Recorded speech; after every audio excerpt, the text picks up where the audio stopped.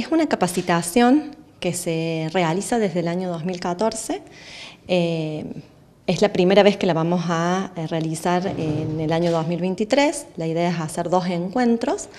Es un curso taller que se dicta eh, en un solo encuentro, eh, destinado principalmente a las personas que realizan salidas a campo, ¿sí? en sus tareas de docencia e investigación.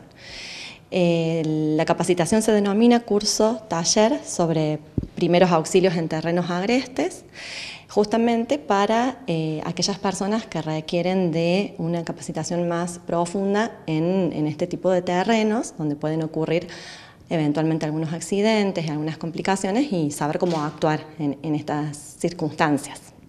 Esto es para estudiantes de las distintas carreras de la facultad.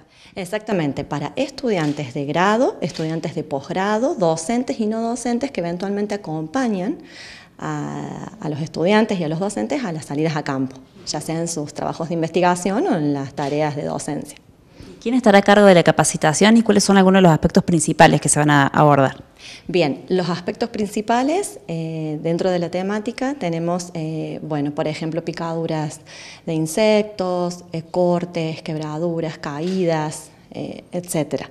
RCP, ¿sí? también está destinado a la reanimación cardio eh, pulmonar en este tipo de, terrenos y cómo eventualmente em, acudir a un centro asistencial eh, próximo, qué, medidas tener en cuenta, qué documentación tener en cuenta a la hora de salir al campo, ¿sí?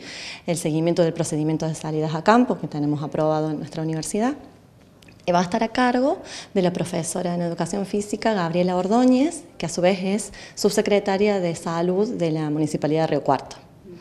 Ella es la que hace varios años eh, dicta esta capacitación eh, a nuestros estudiantes.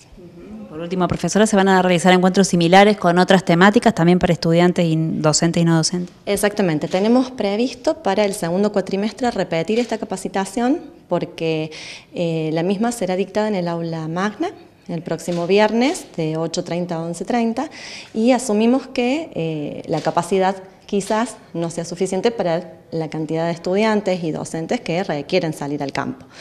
Eh, por, lo tanto, tenemos previsto repetirla en el segundo cuatrimestre.